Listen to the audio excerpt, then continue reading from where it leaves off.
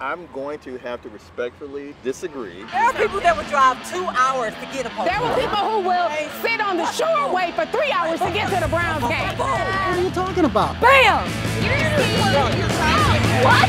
Best part of Cleveland is rock and roll, the music. The best part of Cleveland is absolutely Oktoberfest. The drag scene. Well, it has to be Playhouse Square. We have the best library ever. The Christmas Story House. The Christmas Story. Okay, okay. Christmas story's good. Let's roll sound, roll camera, take one. Best part of Cleveland is resilience. The ability to persevere, the ability to fight through anything.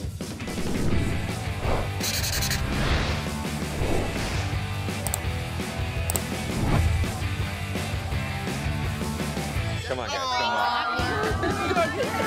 on.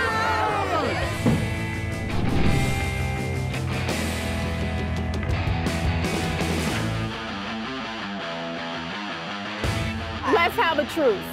I absolutely will say Polish boys are delicious during the off season.